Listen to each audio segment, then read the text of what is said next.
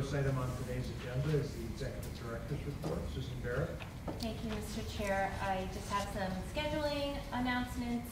Um, First, that next uh, week, uh, we will be uh, potentially, that's on November 20th, um, voting on the HIE plan, which we're going to hear about today. We're also going to hear from our own team on uh, the all-payer model benchmark update. And then um, we had moved an item on the, the discussion on the ACO 2018 results from today to next week. So that will definitely be occurring next Wednesday. Um, Also, next Wednesday, November 20th, we have the primary care advisory group. And um, that is, that will take place, that is a public meeting at our offices on 144th State Street, and that starts at 5 PM. And then, I don't want to put her on the spot, but on Thursday, November 21st, we, we as a board, the board members will be attending the Rural Healthcare Task Force. But as noted on the agenda, this is not a formal public board meeting. And Robin, do you want to just give a few highlights of what's happening in St. Sure. Johnsbury? Yes, so November 21st from 1 to 3 at uh, the, thank you, Abigail. Uh, NVRH, uh, the Rural Health Services Task Force will be having a listening session, which will consist of a very brief overview on the- what the task force is and what the charge is and the work that we're doing. And then uh, we'll ask people to split up into small groups and talk about some discussion questions and then come back together as a big group to share the information. So that's, I think, going to be a really interesting meeting and we'll learn a lot. Thank you. Thank you for that update. I'm sorry to put you on the spot. No, no problem. Appreciate it. Um, And then the next week is the week of Thanksgiving, so we are having a meeting that is scheduled on Monday, No- November 25th, um, to, again, talk about the all-payer model benchmark proposal with a potential vote. Um, And then, again, that is Thanksgiving week. Happy Thanksgiving to everybody. Um, I have nothing else to report unless there are any questions about November's schedule. Thank you, Susan. Next item of minutes of Wednesday, October 30th. Is there a motion? So moved. Second. It's been moved and seconded to approve the minutes of Wednesday, October 30th, without any additions, deletions, or corrections. Is there any discussion? Seeing none, all those in favor signify by saying aye. Aye. Any opposed? Okay. Um, So we'll welcome our friends down front. And Sarah, are you going to tee this up or no? No? Okay.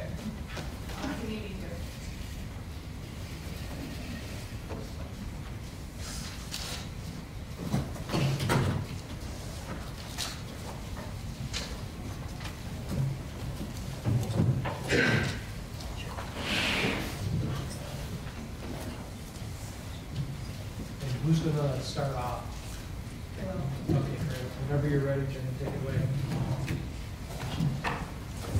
Jenny Samuelson, the Deputy Commissioner of um, Department of Vermont Health Access, and I'm joined here with my, by my colleagues Emily Richard, Maureen Gilbert, and Andrea, who is joining us from Zoe. Uh, We're here today to go over the health information technology, um, health, health information technology strategic plan, um, and what is encompassed within, within that plan. So just as a reminder um, to the group, that Title 18 calls for, Title 18 calls for an annual update to the um, Health Information Exchange Plan. Um, And then in every five-year cycle, uh, asks the Department of Vermont Health Access and the steering committee to do an overhaul of that, of that strategic plan. Um, Last year was the first time in many years that the strategic plan had been approved. Uh, And this plan is essentially an update. It doesn't change any of the vision, direction, or scope of the, of the work that we do, but gives an update on the progress um, that we have been making uh, towards the elements that are included in that tactical plan. It builds on and- and reflects, uh, I want to remind folks that it builds on and reflects the approved plan from last year. Just to take a step back, uh, as a reminder to the group, The goals that were laid out in the HIE plan last year included creating one health record um, for every person in Vermont, improving the healthcare operations, and using data to enable policy and decision-making. As we look at this year as an implementation year, you really will begin to see these goals weaved into the projects and- that we have been working on. Specifically, as we look at the collaborative service project as an example, you will begin to see these three uses, uh, or these three goals, driving the the types of data that are coming into the health information exchange.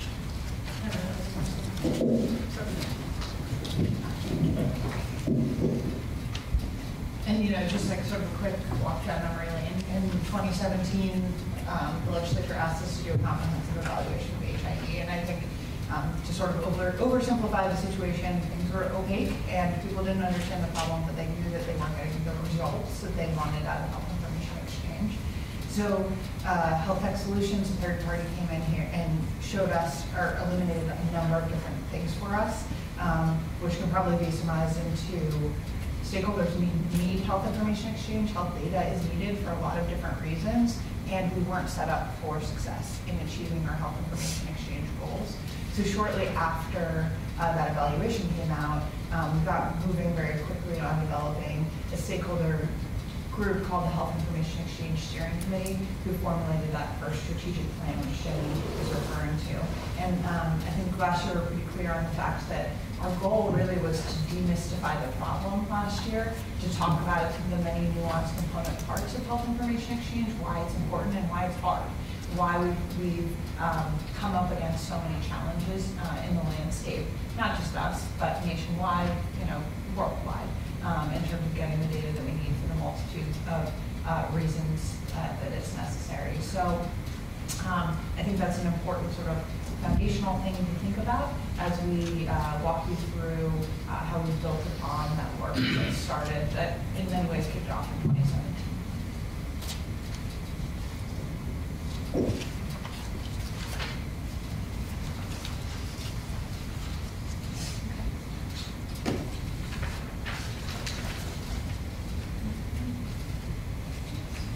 Sorry, technical deficiencies. And Just as a reminder, in terms of demystifying uh, health information exchange, there were a couple of key terms that were laid out in last year's plan. Um, One related to the health information. Um, The other also demystified in the, in relationship as we go through to us talking about health information exchange as the verb, the actual exchange of health information, and as the noun, which is uh, the health, the Vermont Health Information Exchange, which is where we house the, house and exchange the data through Vital.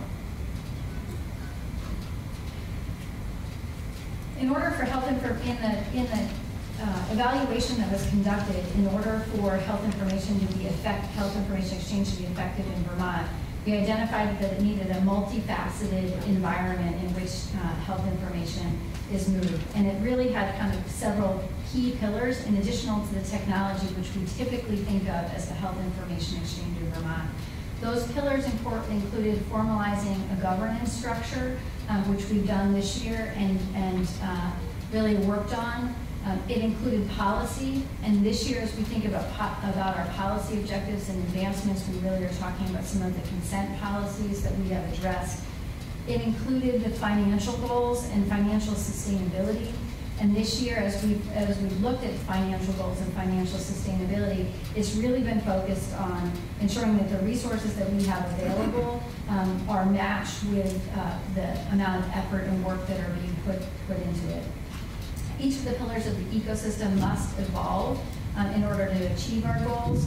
And in order to make that happen, underneath each of these pillars is a tactical, are tactical um, objectives that are included in the tactical plan in, uh, that you have before you.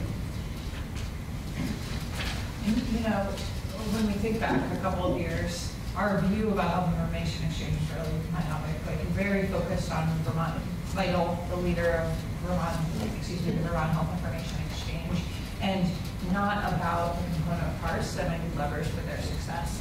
Um, so I think starting with this foundation is really important, and um, we're kind of illustrating here today through all of our sort of conversations about how the work is progressing, that without the policy, without the financial tools, without an appropriate governance structure, that technology is never going to meet our needs because it's not going to be built in a way that's reflective of what the needs actually are. Um, So we're just kind of always keeping this in mind of, you know, we brought the steering committee together not to think about just what Vital does, but all of those component parts that are going to enable their success. And one of the foundational components to their success is also looking off at the, um, the technology components. And we're, when we began to develop the health information technology plan last year, we really looked at the, um, the national guidelines, like those coming out from the Office of the National Coordinator, and assess that against Vermont's key use cases. The steering committee identified components that must be in place in Vermont, and you can see them, you can see those components here. Um, Those are really, uh, fall into three areas. Foundational services, uh, which are really the, the minimum expect, the minimum and foundational things that we need to be in place for the exchange of information. The exchange services, which really are kind of the core, some of the core technology um, that needs to be in place, and the end user um, services. As we go through today, will, um, and specifically when we begin to talk about investments, we begin, uh, and through our technology roadmap this year, we really are looking at the foundational services uh, as being a core place for the public investments to be invested in, as are the exchange services. Um, The end user services are typically services that those two uh, layers below need to um, support in terms of having the availability of the data. Um, But typically maybe investments that are made outside of the health information technology investments, but are potentially made by additional organizations, uh, for example, um, the Accountable Care Organization. Sorry, just to underscore sort of why this is important, and not to be sort of like a caveman about it, but it's really like you can't have step three without step one. And all we're saying here is that there are some basic things that have to be in place for us to get sort of the shiny, fun tools that people talk about a lot, like how do we manage care using information and technology? How do we do analytics? How do we get real-time notifications of where patients are? We can't do any of that kind of sort of shiny, important stuff without having identity management and security and a consent protocol that works or interoperable, interoperable systems. So those, those um, foundational layers are why we think about public investment there because it enables uh, data exchange and data use in the way that consumers and providers and patients are really thinking about. So what you saw in the 2018 and 2019 plan was really for the first time a way to potentially break, um, break down in small digestible chunks how to actually achieve and get to our goals and objectives, and especially in terms of supporting the, the, the environment that we laid out, but also the technology infrastructure that was laid out. Specifically in 2018 and 2019, they established, um, they established some key objectives. Um, One of which was to ensure that we had a permanent governance model in place. Um, And I think we've, as we walk through today, we will connect this to our efforts and work, but really, this begins to look like, or begins to be the HIE steering committee. The second, the second is incremental progress on some of those core foundational um, services and the core exchange services. And you begin to see that come alive as we talk about Act 53 and the consent policy changes. And you see that come, uh, come into um, execution when we look at the collaborative services agreement that we will both talk about, but Vital will talk about in more detail. We're looking at implementing a long-term sustainability and finance, financial planning. As we move through today, we really are trying to achieve that right now in terms of honing in our operational efficiencies and creating value for investments in the future and developing the technical roadmap. While the HIE plan helped to, to establish some of the core things in the environment, we needed to take a look at what the technology needs were going forward and both what was happening at the national level, um, both from a policy standpoint and uh, in terms of technology advancements, and the roadmap will help us do that.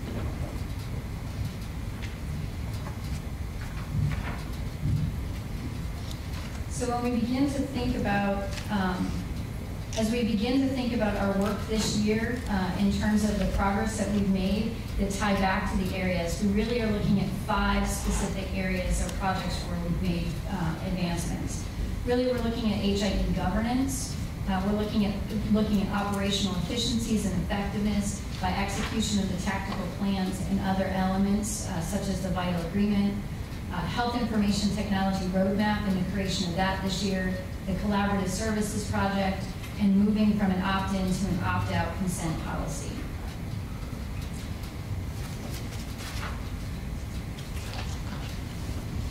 So, when we began, when we began to look at the, um, the evaluation in 2017, it really highlighted the lack of an accountable, uh, accountable party. Um, So in this past year, uh, in the plan last year, we really identified that there needed to be a permanent governance structure, and that that governance structure needed to serve the needs of the HIE users. It needed to strengthen relationship between authority and accountability, and it needed to engage a broad range of stakeholders. This comes directly out of the plan from last year. In order to put that into execution, the HIE steering committee this year um, put in place its permanent members. It finalized a charter, um, finalized a charter in the last year uh, to establish clarity on its vision and approve the approaches of the, um, approve and look at approaches like HIE governance, um, and also looked at how we could convene potentially subcommittees moving forward to move forward uh, things like our um, uh, development of the tactical plan and elements such as the, um, the connectivity criteria. What we believe will happen in 2020 related to governance is that we will focus on prioritizing um, subcommittees, and the current, some of the current proposed areas may look at connectivity, data governance, and HIE consent coming out of some of the priorities from this year.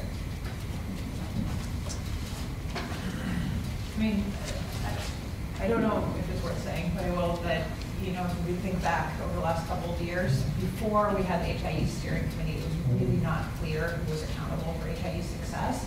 And the Green Mountain Care Board and Viva sort of shared an oversight role over Vital, which was not clear. And so that didn't help Vital, you know, accomplish their goals.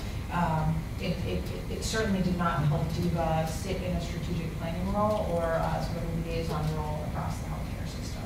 So we're hoping, I mean, obviously, we're working towards perfection, but, you know, it's a process. Um, We're hoping that the committee is reflective of uh, the healthcare system in a way that we're building a strategic plan that helps Vital accomplish goals that are real and meaningful and helps other uh, stakeholders invest in health information technology in a way that's not duplicative and is building on uh, sort of core services that exist in mostly. So I think this slide helps to, this slide you will find in the health information technology, the health information exchange plan. And specifically, the goal here is to, to outline clear authority and accountability across the system. So really looking at what the roles of the HIE steering committee is, what the ad hoc committees will do, the Green Care Board, um, the VHI and other uh, organizations who are using the VHI, and the performance-based contracts. This gives us some structure for that level of accountability. The other thing that the HIE steering committee is, uh, the steering committee does is it helps create a link between the users of the health information exchange and, um, and the accountability for the health information exchange. So the, you will see that the makeup, the board, uh, makeup of the board represents key stakeholders um, that are uh, particularly strong users or inputs for the health information uh, ex- exchange. I'm going to pause there. Any questions so far on kind of the, the governance structure or the govern, the governance activities this year? Nope. Okay. So one of the other areas of focus this year were, are, you know, coming out of the work, the evaluation plan, coming out of uh, the oversight from Act 187, we've seen significant progress of vital and health information exchange in Vermont. We, in, in uh, 2019, we really worked to carry that, that forward through a couple of key areas. Um, One of them was to create goals and accountability in the contract with Vital. I think what, what we've, uh, the connectivity criteria, which we'll talk about in just a second, is, is an example of this, where we were able to establish the connectivity criteria, um, which had been absent, uh, the, the clarity on, on exactly what was necessary in the, in levels one, two, and three had been absent in the past, And we were able to establish that connectivity criteria in 2019, and in 2020, we'll see the contract begin to um, point more, to- uh, point us forward in terms of more uh, practices and organizations moving from a tier one to a tier two, and some level of accountability for that built into the contract. I think last year, Mr. Pelham, you asked, you know, so when you come back next year, am I going to see the vital contract aligned with the HIE plan? So if you pick up the vital contract in its current form and it's soon to be, you know, the 2020 form, you will see the exact subject matter of the HIE plan reflected in the contracts and like what is going to happen in that annual period to progress that area. So I think that's pretty substantial growth in terms of how the program operates. Another area where I feel like we've made significant advancements in the HIE operations is uh, continuing to apply for and receive federal funds um, for the HIE and matching that with our Health Information Technology Fund. Um, What you will see in- as we go through the collaborative services collaborative services project, we were approached by multiple different organizations to fund multiple different, um, the same thing multiple different times. And our goal really in this year is to say, okay, how much revenue do we come, have coming in from our HIE fund? How can we uh, leverage that and continue to leverage that for federal funds? And line that up so that we're not exceeding the, both the rev, exceeding the revenue from the HIT fund or the IAPD. And so we see some operational efficiencies there. We also see, we also see that we've matched up the investments um, that are being made from those HIT funds with what's, what is uh, outlined and detailed in the HIT plan. You, uh, I think the other element that we're proud of is that uh, we've made considerable progress on all of the tactical elements in, in the plan. Um, And related to interfaces, we've begun to think about how we, how we will uh, leverage prioritizing new, new interfaces and how we will move the current interfaces from, from tier one connectivity to tier two and potentially tier three connectivity in the future. So let's talk a little bit about the advancements in the connectivity um, criteria. Uh, There were no significant or major changes in the overall framework for the connectivity criteria, but the HIE steering committee and the stakeholders that are involved in the HIT steering committee convened several times this year to review the data elements that are included in, in tier one, which are essentially, can we get information from an organization on the people um, that they are, that they are serving? So really the baseline information. Tier two, which is really the sharing of the essential clinical information. So what's the base, what is it that we need for, for the sharing of, the, of that clinical information for it to be useful for organizations like the um, ACO, uh, state organizations like the Blueprint for Health, and also to be able to report on our all-payer model measures. So they matched up those, the, the, what is necessary for those organizations about what was available in the current electronic health records and created a tier two criteria. For those things that were not necessarily readily available and were kind of stretch goals, uh, for the first time they, they created an, uh, the, the tier three criteria. This is the direction that we might be, that we would be going in the future and would include things like the plan um, for uh, mental health follow-up as an example. And you can see how that might match up with the, with the um, all-payer model goals. So if you can't tell, I'm like the walk down memory lane person. This is what they give me on my third day back from maternity leave. Remind us what what's happened. Um, so, you know, connectivity criteria is was born out of the Green Care. Existed since 2014, and it was a great concept to say, you know, how are we going to assure that uh, the connections that are being made between electronic health records and our central repository, the health information exchange, are actually of quality, you know, getting us what we want. And so in 2014, and uh, I hope I'm not speaking for you, you all know this better than I do, you know, it started as this sort of concept. In the last couple of years, Diva and Vital worked together to put a real structure around it. So to say, okay, so this concept is great, but like, how do we actually plug in and hold Vital accountable and ask our electronic health record vendors to adhere to a certain standard? And so that's what we did last year. Diva and Vital came together to create this three-tiered structure. So in concept, was great, but we didn't have enough um, time to have the stakeholders all around the table to say, here are the exact data elements that I would need to do, uh, improve operations, to do point of care support, to do quality reporting. And so Vital Now has engaged um, a stakeholder committee to start having those conversations. And they were able to put together a much more comprehensive set of data elements for tier two. And so why that's important is because tier one is like, you know, your name, your birthday, we know who you are, your demographic data. But tier two are really, how are we going to start using the data elements? And then tier three is, you know, I'm a blueprint, blueprint for health administrator, or I run the ACO. You know, in, as I wear different hats, what are my different data element needs? And how can I um, be guaranteed that the connections that the state or private sector are paying for are yielding the, the results that I'm interested in? So it's a progression of things. We haven't gotten to tier three um, in totality yet, and I'd say tier two is um, still in the works. But at least the structure gives us something to sort of work towards. And I think as Carolyn and Andrea would say, it gives them the authority to say, hey, the state of Vermont is asking for this, so you electronic health record vendor, um, you need to act on behalf of your provider organization. It gives them a lever to kind of call back on.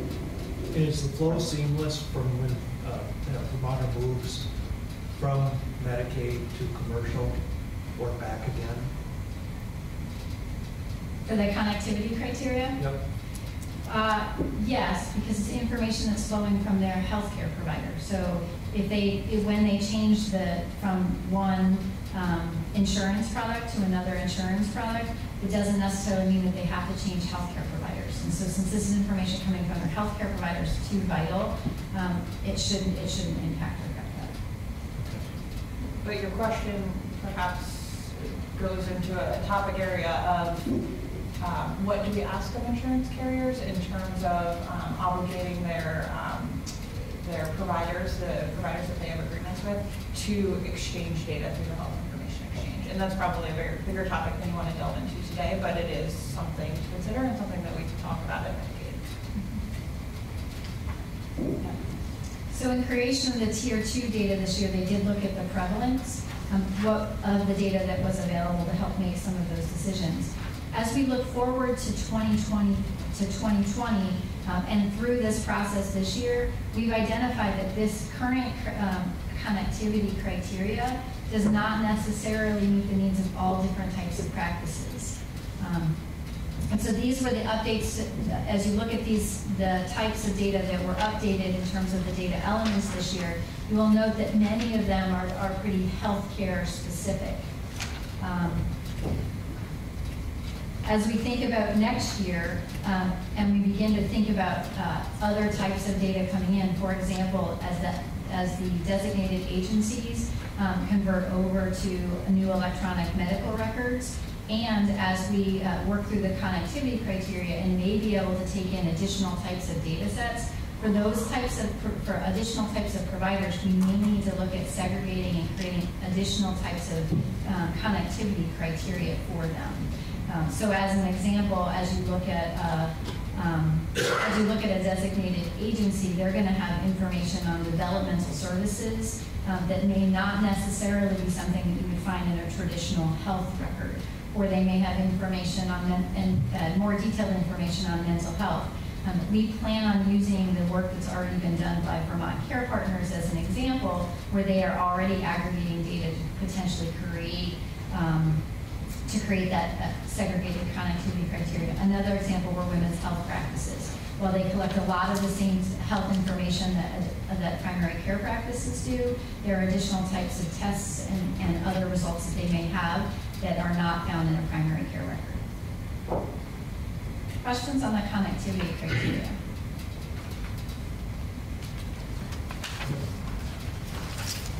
Okay.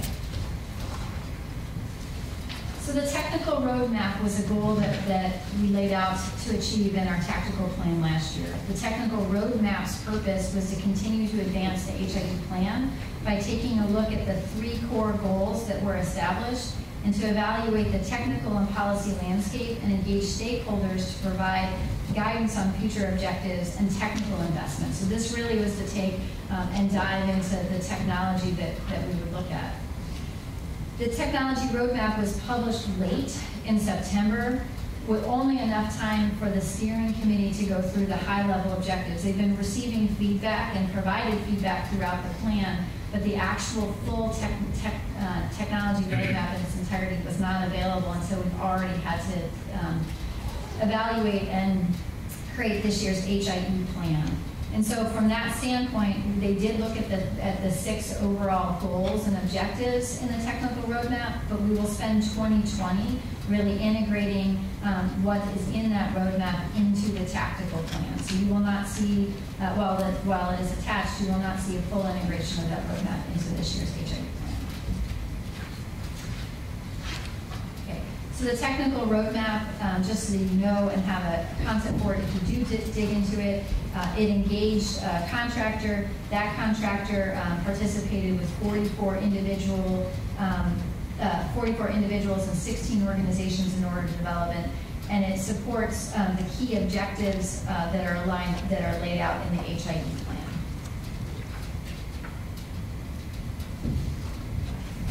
So this is the collaborative services you've heard about several different times throughout the year through the, through VITAL. Um, DIVA and the HIE steering committee were being, as I mentioned before, were being asked multiple times to make um, investments, particularly three times uh, by providers um, uh, directly. Um, we were, they were also being asked to invest in it through the, ACO was also um, contributing and getting data, and the state government and agencies were contributing and getting data. Our goals were to try to begin to invest in the infrastructure, the, those foundational infrastructures, one time. And also to make sure that we were creating a modular infrastructure um, and that we were doing it in a phased and responsible way. So in that, in that respect, the collaborative services um, project emerged in order to create phase one, which really um, put in place uh, the master person index or the ability, master case index, the ability to match different records from the same person coming from different organizations. The ability to collect additional types of data um, and through our terminology services, so to really be able to map um, data that wasn't necessarily in standardized format and pull out additional information and data for that, and the ability to route and integrate, integrate data. Um, It feels like a good time to stop and just remind folks. So, you know, back to we, there are foundational elements that are required for success, right? And so lots of people who care about health information exchange, who are facilitating health information exchange, who are using health data, we're trying to invest in the same foundational components to get the same quality data at the, at the back end, right? And so those are people that, those are groups and people that DIVA works with. ACO, the Blueprint, Vital, the provider community, others, were asking for basically the same thing because the same thing was broken across the system. So instead of investing in it multiple times, DIVA said, great, so we're going to create a comprehensive strategy where we invest one time, but it benefits all of the stakeholders. And so these are foundational things that are going to make the data more usable, more exchangeable, more interoperable for all of the end uses. Does that make sense? So an opportunity there, as we've looked at investing once as, as a- an example in terms of the financial sustainability of the HIE, is that we're not going to pay for things twice. So we're not going to pay for um, the data repository, which is the phase two, um, at the HIE, and the Vermont Clinical Registry. So the clinical registry will actually sunset on December 31st, and the efforts that were underway for that will be merged into this project. So now we're investing one time for two different purposes. In addition to increasing the data quality um, through the health information, uh, through the collaborative services project, we are also looking at how we can increase the availability of different types of data. So when we talk to organizations like the Accountable Care Organization about their efforts, as they think about things like matching, matching a person for different disparate data sets, they want to do that, they want to pay for that one time. Remember that making that investment once. So as we think about moving to phase two, which is really creating that data repository, and we think about um, the value case for this, um, we do see ourselves, the HIE does see advancing into collecting additional types of data. For example, um, being able to collect the substance use and mental health data as long as the Part 2 solution is, is available in that, in that data repository. Um, Potentially also bringing in the claims data because the ACO is already getting the claims data and they want to be able to match the clinical data that they're getting and the claims data using that master person index. So again, investing one time um, for multiple different purposes. Um, And the last, the last uh, type of data that we perceive may go in in place is uh, looking at some of the AHS social determinants of health data to help advance the risk stratification as an example for the ACO. So now you're seeing the creation of those foundational services, and you're seeing it being used as a data repository across multiple different types of data sets. We are on target, as, the, as uh, Vital will report, for getting phase one done in April of 2020. Uh, Phase two, which is really that foundational services, the MPI terminology and interface services, by the end of, um, that, that will be in place by the, by April. And then the data repository, we believe, which is phase two, will be in place by the end of 2020, um, with the addition of those ad- additional data sets throughout 2021. Any questions on that? Yeah, can you give me an example of the terminology services? Yeah. So I'm going to give you an example of what terminology services does. So uh, it brings in potentially not, uh, data that was not necessarily standardized in the past. Um, so, uh, Andrew, you want to? Uh, If you want to use diabetic Yeah. as an example, they may have 30 different codes that it would identify diabetic A1C. And terminology services is a, is an opportunity to normalize it and call it one thing. So you could have 20 different codes, and it would still take it and convert it to an A1C. Okay. You know, I just think. I always use the word translation instead of terminology services, because that's really what it's doing. It's saying like, here, I'm gonna, you know, the word tomato in thirty different languages, I need it to be tomato on the back end. So if it comes in in thirty different languages, I need it to come in, I need the output to be in English. So it's translating a bunch of different ways to say the same thing into one. You say tomato and I say tomato. Well, that was, yeah. Exactly. In the past, a lot of that information would have been left on the cutting room floor. Yeah. So it would, and so as you look at those foundational services and we're looking at data quality and data access, in the past, if it did, if it didn't say tomato, it was just cut. Um, and, and so uh, this will allow more types of data to come through. And I think Member Holmes had a good question as well. Oh, I whispered to him. So, I was curious about what kind of savings, cost savings is going to happen by sunsetting, you know, the clinical registry or doing these shared uh, repository and sunsetting other things. Any Yeah. estimate of what's going to be saved? We're still working on what those estimates are.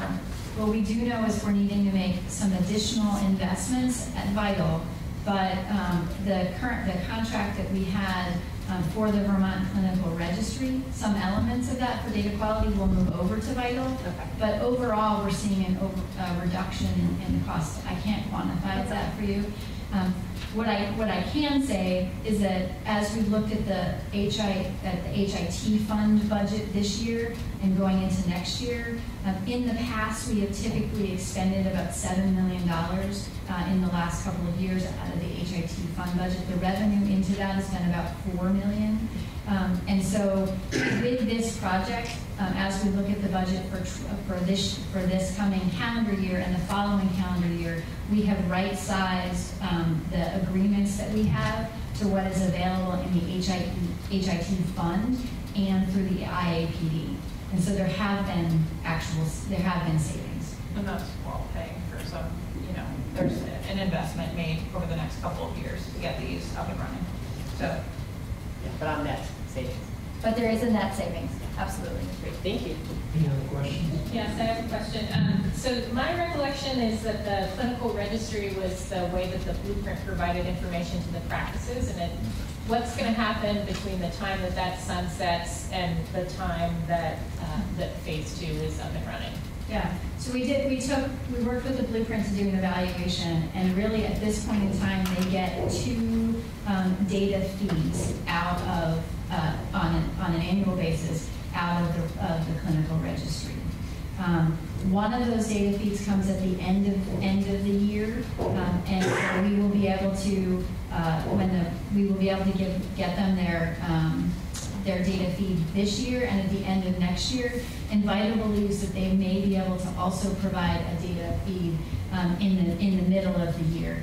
Either way, the middle of the year, um, data, the middle of the year data feed was not necessarily for major and core operations. The practice data was really what was happening at the end of the year.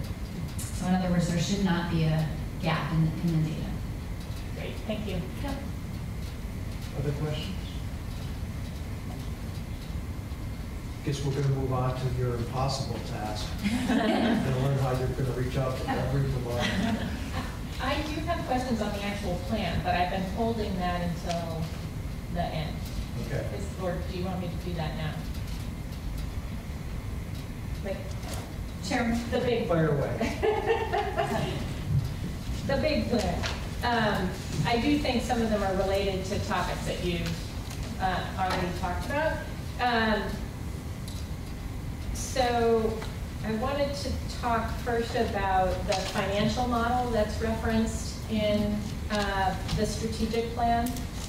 Um, And uh, this, I would say, is more in the form of feedback than in the form of a question. But when I was looking through the key questions in the lens that you were looking at in terms of developing the financial model, I, I thought all the questions were great, but I felt like there were some missing. And that is uh, in that the questions are really focused solely on the state investment and not looking at the total picture. So um, in the HIT evaluation, there was a discussion of the financing model in terms of particularly those end user services and connecting them to the customers in order for the customer voice to be heard, which makes sense. But in looking at the actual financing of it, I think you then also need to, to look at uh, the impact of those dollars in the private side of the system as well. Because even if the state is not paying for it with a matched state and federal dollar, somebody is paying for it, probably in a, a private insurance premium dollar. Um, and so I think we need to be looking at the total picture, uh, not just the state side. So that would be my feedback on the financial model. Um, and I think you already answered this, this question, which was when I was reading um, the strategic plan and looking at the summary of the tactical plan, I was, I started to compare it to the technical roadmap, noticing then that the chart that you have on page 21 in the strategic plan is, looks to me to be a condensed version of the larger chart that's in the tech, in the technical roadmap, sorry. Uh, and it sounds like that you may have done kind of an initial first pass and pulled out some of those pieces, but that the full review of that will happen next year. Read that right? That is correct. Okay, and what, can you just talk a little bit about what you pulled out and why you pulled out particular items from that larger list? Mhm. So as we, um, as the year progressed, the HIE steering committee um, got strategic updates from the group that were providing the consultation on the roadmap. As they got those strategic updates, they began to incorporate that into the HIE plan. And so you will see those things that we ha- already had some insight to that already incorporated in there. In addition to that, um, we, in our first pass of the, uh, the roadmap, we went through and identified things that already began to match up to those five core efforts that we were making this year. And those elements were brought for, were brought forward into the plan. Thank you, that's helpful. Um, And then I've had a couple other questions that are related more to the technical roadmap. Um, So maybe I will just let you know what those are so that you can feed that into your process as you review it. I don't, you know, it doesn't make sense necessarily for you to speak to those now, given that the steering committee hasn't looked at it. But I was particularly interested in the automating of the quality reporting um, in terms of uh, that effort. Uh, I also noticed in the, the non-technical plan in the technical roadmap that there is a lot of discussion around quality and aligning quality measures. Uh, there's there. I wanted to just make sure that you knew there was a report that the Green Mountain Care Board did not that long ago that made some recommendations around further aligning quality measures. Um, And one of the areas, this comes up a lot, alignment of quality measures for us from the provider community, as I'm sure it does for all of you. Uh, And one of the areas that's not well understood, I don't think, is what the state has control over versus what's driven at the federal level. So I think any sort of education or um, information or clarity that you can bring around that question would be helpful, because I think um, understanding what we can leverage and what we can't control is important in terms of that alignment. Um, And then there's also, of course, the whole aspect of potentially self-insured employers being able to do their own thing. Um, And then on the provider directory piece, um, I was curious to know whether you'd be looking at any of, um, any connection with like the licensing data, for example, since that, I would assume that there's already a wealth of information with the licensing agencies around providers and whether it makes sense that that's totally separate or, or whatever. So I'll just pose that for you to think about. Um, and that, that was it on, what I had on the strategic plan. Thank you, Kevin. Um, I just have a question on the DIVA contract with Vital for 20, what uh, Vital's represented in their budget is an increase from like 2.2 million to 4.1 million. And just wanted to know, is that some services, as you talked about, that maybe you're moving from DIVA to Vital at this point? Yes. That, that's, a- that is exactly right. Since the original submission of their budget, um, the collaborative services project particularly has- has uh, been clarified, both in phase one and in phase two. And elements such as the repository have been moved over to, to the Vital contract versus an outside contract with um, another vendor. Oh, Great, thanks.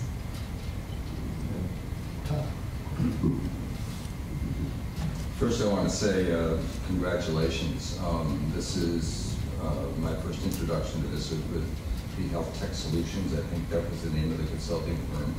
And uh, it seemed that both the HIE, the HAEI plan and Vital were struggling to uh, find a focus. And as you go through this presentation today, it's clear to me that um, you've all made great progress. And uh, um, that there is a momentum that is built and an, and an end game um, that people can work toward uh, constructively. Um, I am curious as to um, how you're approaching the transition of the vital leadership. Um, uh, you have a new person coming on board. Uh, clearly, your governance structure is working and has some momentum um, uh, behind it. And uh, um, I'm just curious as, as how um, uh, what you advise uh, the new vital leader to be thinking about and how you might uh, best integrate, integrate that person um, into this momentum. That's a great question. Um, The vital leader has just been uh, identified and announced. Um, So we will begin working with that individual as soon as she comes on on December 2nd to orient her um, to the strategic plan, the governance process, and the upcoming contract year, um, hoping to create some alignment on what our, our vision and, and mission has, has been um, and continues to be with a real focus on tactical implementation. if you don't mind me saying. So when I started a couple of years ago and met the veteran team, they kind of moved in mass, like they worked all together, all of them, all of the time, right? So since that time, leadership has changed significantly across the organization, and now it's much more sensical. Uh, there are individual leaders for individual work streams, and we've been able to, at DIVA, pair teams of people with their correct teams of people and work on different subjects and progress them individually. And that's just an enormous improvement and allows us to be a lot more efficient than we, we were in the past. I also think that I'm optimistic that um, under uh, Mike Smith's leadership, that they have uh, set up a strong infrastructure within the context of vital underneath the teams that Emily just mentioned, um, and that for the foreseeable future, those teams are well established and set up to carry forward the work that's already outlined here. Um, And I'm sure that as the new CEO comes in, um, that she will become oriented to the, to her team. And uh, I asked our Sarah uh, today two questions. Um, Number one, does the um, steering committee have minutes? And I'm told you do. And the second question was, um, uh, have, have there, has there ever been a, uh, uh, um, a, a conflict within the steering committee where there was votes taken and there were two sides of an issue and one prevailed and one didn't? Or is it pretty much a collaborative, uh, exercise where, um, um, you know, things are intensely discussed, but it's, it's, there's, there's not a lot of, uh, of, of- of turf battles going on. That's such an interesting question. So, so the steering committee has evolved a lot as the HIE plan has, right? So when they first formed, their real goal was, again, to demystify this situation from each of their perspectives, how to like really illuminate what the issues and challenges were so we can move forward. And so from that standpoint, the group was really cohesive and, you know, able to talk about their shared challenges. Now we are entering a realm where individual organizations have individual positions, and we're going to be asking them to weigh in more on, um, you know, how we invest in connections between electronic health records and the HIE, how we achieve this unified shared platform under the Collaborative Services Project. So we likely will see more of that in the future. We haven't had, honestly, to use voting very much, um, but in the future, it seems like that, that could come up. So I've seen some maturity even in the last couple of months of the group as the HIE technical roadmap elements were, um, were presented to the group. Um, we have seen some differences of opinion. That's one of the reasons why we want to comb through the roadmap very carefully. For example, um, the vendor who uh, produced the technical roadmap put in end users, several elements of end user services, including analytics, um, including things like the care management tool, and as uh, Member Lunge uh, mentioned, also uh, things um, like the like coming up with a quality index. And there has been disagreement among the members um, uh, where they have had significant conversation but come to consensus. As we begin doing things next year, like identifying which organizations um, we want, or types of organizations, not the organizations themselves, that we want to connect with, I do think that there will be differences of opinion where we may need to move from consensus to voting.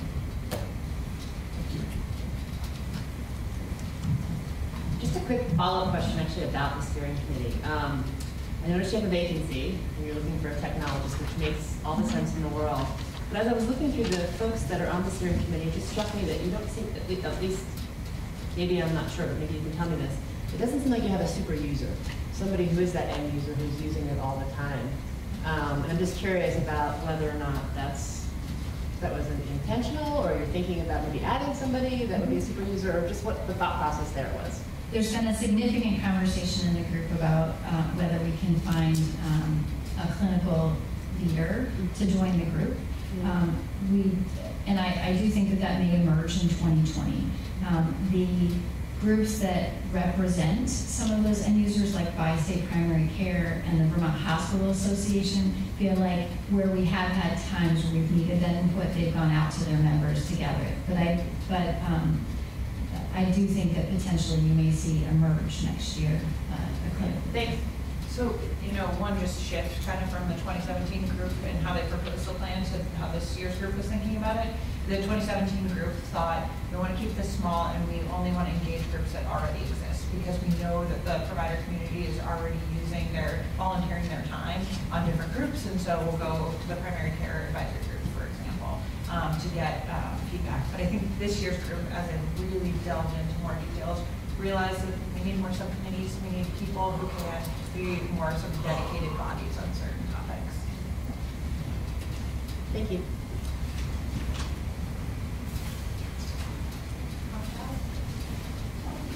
So, so from here, we're merging kind of the strategic plan and, uh, the strategic HIE plan and the consent report to report out the progress that we've made on the HIE. Um, and there's been a significant team that I want to give credit, um, that's worked on, on this, and, um, including folks at DIVA, folks at Vital, um, and many of the, the stakeholder organizations have put a lot of time and effort. I'm going to turn it over to Maureen and Andrea, who've really been leading on the stakeholder engagement and the technical. Hi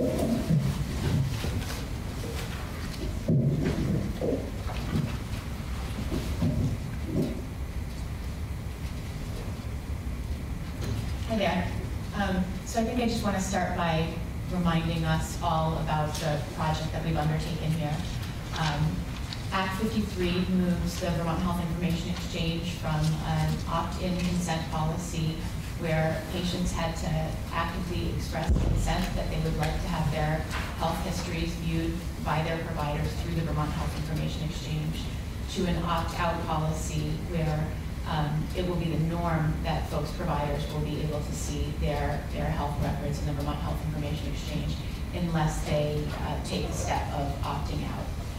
And the intention of this was to align the policies better with the preference of most Vermonters. We know that when asked, 95% of people say that yes, they would like to opt in and have their health information viewable. We also know that that's true not just here in Vermont, but it's typical across the country um, for that preference to be sort of at about at that ratio. We also know that in order for the Vermont Health Information Exchange to really be useful at the point of care, particularly when it's used through vital access, that providers need to be able to expect to go in and find a record. Um, if you're going in and routinely not finding your patients in there, you're just going to get out of that habit pretty quickly. Um, so when we have most people in, this tool will become much more useful to providers and therefore useful to the patients that they serve. Um, as we make this shift, we've all agreed that meaningful consent is the goal and that we really want people to have an opportunity to understand how their health information is being shared and being viewed and used and have an opportunity to opt out should they wish. We really want to make that possible for people. In order to get there, we've established three main work streams here. So one is stakeholder engagement. The second is mechanisms to support opt-out, and that's where Vital has been um, really instrumental. And then in the evaluation methodology. Say, where Vital has been really instrumental, but actually we've been teaming across all of these, just that's sort of their area of expertise. Want to remind folks about our timeline here. Opt-out consent goes into effect March 1st of 2020. You're going to be hearing about this from us one more time um, before March 1st. So January 15th of 2020 will be updates to the Green Mountain Care Board and legislative committees. Um, the annual, this will also be incorporated into the annual reporting for the Health Information Exchange. Or the Health Information Exchange Plan, I should say.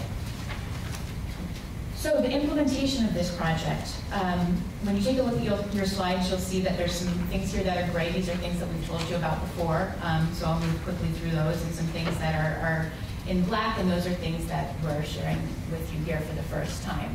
Um, so we have been doing through stakeholder engagement this ongoing work of connecting with uh, advocates for all Vermonters and advocates for special populations and people with lived experience What's new here in the stakeholder engagement work is a partnership with a marketing agency to develop digital and print communications.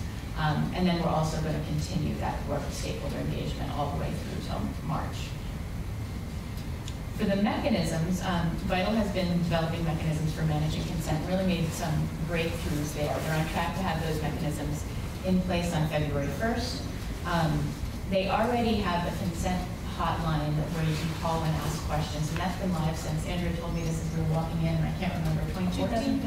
15. So um, the organization already has um, plenty of experience answering consumer questions. That hotline um, right now cannot actually accept consent decisions. That's something that's coming um, down the road. But right now, it certainly is available to answer questions. Yeah, prior to March, March 1st, absolutely. Um, and we've defined, Vital has defined new mechanisms for opting out, and those include, uh, will include phone, an online form, and by mail. We've expanded the network of providers who can register a consent decision, for instance, including the Vermont um, uh, Chronic Care Initiative. I'm just trying to remember what VCCI stood for. Um, but they are already working with the new to Medicaid population to counsel them about their right to, to opt out and to register those decisions. And Do you want to take questions as you go, or wait till the end? Yeah, let's do it as we go. So a couple have already popped up. Please. Um, When you say phone, is it going to be as simple as a text? Eh, There's not plans for text right now, That's a great question, though. but it is a great question. So the, the challenge with that is verifying identity. And How do you verify identity on call? another great question. I was gonna say that for later in the presentation, but I'll take it now. The, there are two, there are two components. So- So we certainly have access to VHI data. And on about mm, over ninety percent of some sort of type of data in the VHI. What we have established is that we, that it is appropriate for Vital to use VHI data with a, an established set of criteria to verify a person's identity over the phone. Does that make sense? Yeah, it still might be a little difficult, but. The other piece of this is that there's very, um, and we actually very much appreciate the stakeholder feedback about this, is we're making this available, but only for patients that choose to opt out. Because it is the consensus of the stakeholders and everybody in our group that there is less harm that can come to a patient if someone pretends to be someone they're not by opting a patient out of the VHI.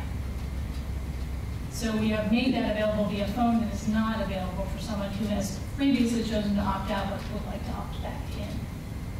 That'll be a different mechanism. You know, this all goes back to the previous conversations we've had here the last times that we've been in, and that is that uh, I really think the legislature gave you an impossible task because it's each Vermonter.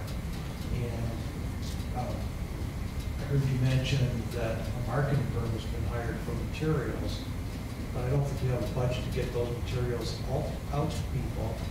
So it, it just brings up those questions about how you're gonna meet that impossible task, because it seems like they asked you to do the, the uh, limbo, and they've set the, the bar about an inch off the ground. I don't know how you do it. So one of the things that is new since the, since the last time that we were here is the legislature did not appropriate funding, but we were able to carve out a portion of the funding um, that was approved in the October um, HITECH um, advanced planning document from CMS. And so we will be using a portion of those funds to fund some of this work, which means that there are additional mechanisms that are available for getting information out to the, to the public. Now, it's not a lot of dollars, but it's enough to make uh, some, to make some specific and targeted efforts at a broader public messaging campaign, in addition to leveraging the advocates. So do you think at the if end you of the day that you could look in the mirror and say that you reached out to each Vermonter? At the end of the day, I believe that we'll be able to look in the mirror and say that we've done, that we've made specific efforts to target Vermonters through a wide variety of, um, or not a wide, but a variety of uh, public messaging um, avenues, um, that we will have been able to reach out to populations who specifically have additional concerns um, about having their information shared, and can do that um, through some of the advocacy organizations. So um, believing that we can get to a significant portion of Vermonters. Beyond that, we will focus our efforts on those individuals who have data in the health information exchange. Are the marketing materials that are being developed by this agency that you've uh, hired, are they being sent out to every advocacy firm that you partnered with on this effort? Yes, absolutely. So I would have actually said about 10 years ago that we could not have achieved this um, reach with the sort of budget that we have today. And that was prior to the advent of social media or folks being really on it sort of all the time. Um, The fact that we have uh, partnerships with a number of advocacy organizations who have strong social presences and um, are also partnering with hospitals and um, hoping to partner with insurers. We're still working on building some of those partnerships out, but we do know that through social, we can get some reach for uh, less money than we might have been able to in the past when we would have needed a, a large TV or radio budget for this sort of a work. Um, but to answer your question specifically about getting this, these out to advocacy organizations, yes, absolutely, we're developing a toolkit where um, we'll have a set of things like um, social posts, um, blog or newsletter content, uh, brochures, just a variety of materials that they can use with their members to, to spread this message. What about the Vermonter without a computer? So the Vermonter without a computer, I think we are hoping for a couple of things there. One is we're hoping for a relationship with an advocacy organization um, who might be able to counsel them about this one-on-one. In the absence of that, we are hoping that the news media will help us with this. Um, we are looking at ways to, to get this message out through sort of some of our broad statewide news media um, by partnering with our um, colleagues at the Vermont Department of Health. They have a strong um, PR person there who can help us with that. And also through um, the little town papers, which we know that people actually pick up and open and read um, when they come once a week. We're hoping to use those as well. What percentage of Vermonters have cell phones? Because I'm thinking people may not have computers, but terms of cell phone and social media, do we have a sense of? I don't, I don't know that, but I definitely know that it does help with um, penetration of access to the internet, um, cell phones. So, let's see. Um, The last thing we had here on the mechanisms was that VITL is actively testing the technical environment for opt-out. We'll get into that a little bit more in a bit. And the third work stream here being our evaluation work, and that we have a plan for evaluation um, that's happening right now with a committee that's been assembled and is going to convene for orientation in December. Just a little bit of a preview of uh, the rest of this presentation. So our stakeholder advocate, or work with the stakeholders um, and advocacy organizations, this began back in July. We previewed some of this with you last time we were here. We were really engaging with a whole range of types of organizations to understand the concerns and communications needs of the people they serve, really have them think together with us about communication strategies, ask for help connecting directly with the people they serve um, so that we can do like focus groups with people with lived experience and so forth. And then ask these advocates to be messengers to participate in that um, rollout of the communications materials using the toolkit like we talked about a minute ago. So the advocacy organizations we engaged with here included advocates for all Vermonters, so the healthcare advocate and the ACLU. And Andrea mentioned this earlier, they were really a tremendous help in um, advancing our thinking about the threshold of, of identity verification necessary for opting out of the health information exchange and really thinking about this new lower threshold that's different than the threshold for, for opting back in, for instance. So I think that was really great progress that we made uh, with our partners there. Then we also worked with advocates for special populations. So that included um, populations with additional privacy concerns due to stigmatized conditions, for instance, um, HIV, AIDS, mental health disorders, substance use disorders. Um, populations with additional privacy concerns due to safety, for instance, people with uh, experience of domestic violence. And then populations who may require different communications approaches. So people for whom English is not a first language, um, and also um, the community of people with developmental disabilities. So we went and we did uh, focus groups with a number of people with lived experience. Uh, we were invited by the advocacy organizations. This came out a little differently on the screen than I expected. Um, mostly it's the same, but we've got some funny characters over there on the left. But this, what you're seeing right here is sort of a still of uh, animation we used to describe the Vermont Health Information Exchange in these focus groups and essentially telling people about how the information they share with the provider flows into the Vermont Health Information Exchange and then can flow back to other providers, whether they present in an emergency department in too much pain to be able to remember their medication history or go to a new doctor in another town for the first time. Um, we were also able to, I think those characters, what they're meant to say is what happens if you opt out.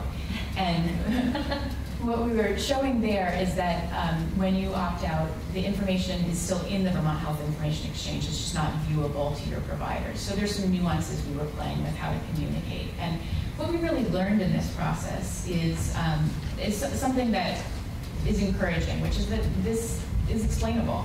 I think when I took this project on initially, I thought, oh my goodness, how are we ever going to explain this really complicated technical thing to, um, to patients? And I'm confident now that we can. I think our challenge looking ahead is to do it not in sort of the five, ten minutes that I had at the beginning of each focus group with undivided attention, but in, you know, 30 seconds as people are scrolling through their, their social feed. So um, it's not that we don't have a challenge ahead of us, but I am optimistic that it, it's something that we can meet.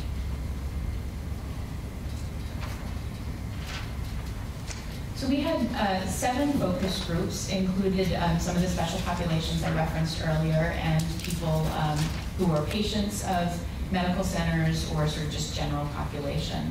Um, and in that, we, we really learned quite a bit and more than we were able to share with you last time we were here, where we were sort of partway through this work.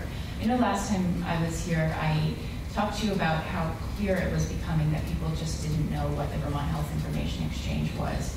And I want to build on that now and say I think that there's little current knowledge about health information sharing rules and practices generally. People are operating in a fairly low information environment and operating with a lot of trust of their providers, that their providers are keeping their information private. Um, I do think that this is important for our work, an important piece of uh, information for our work, because we've found that when we explain what happens if you opt out of the health information exchange and explain how your doctors will share information sort of um, in the usual way, folks become, um, the, the few folks who are trepidatious about the health information exchange become much more comfortable with it. It just becomes, oh, that's, that's the modern way of transmitting this information. Once they understand that their providers are allowed to share information about their physical health already with other treated providers without any additional signatures, um, the whole thing becomes a little bit more comfortable for them. So our challenge is going to be not just communicating what the Vermont Health Information Exchange is, but sort of how it fits into how information is allowed to be shared anyways. Um, the next thing I'll say that we learned here is going to sound really basic and obvious, but I think it's worth repeating, and that's that health information is personal and that privacy matters. Um, there's different levels at, which it matters to people, and it's pretty clear that some of that depends on uh, who you are. So there was one room that I was in, and, and, this was the only one where this came up, where somebody said, you know, I'm, I'm an open book. I, I don't mind if people can see my information. That would be just fine. That was very rare. That was one person of all the folks we met with, and that I ultimately came to understand is, is really a privilege if you can sit in a place where that is true for you.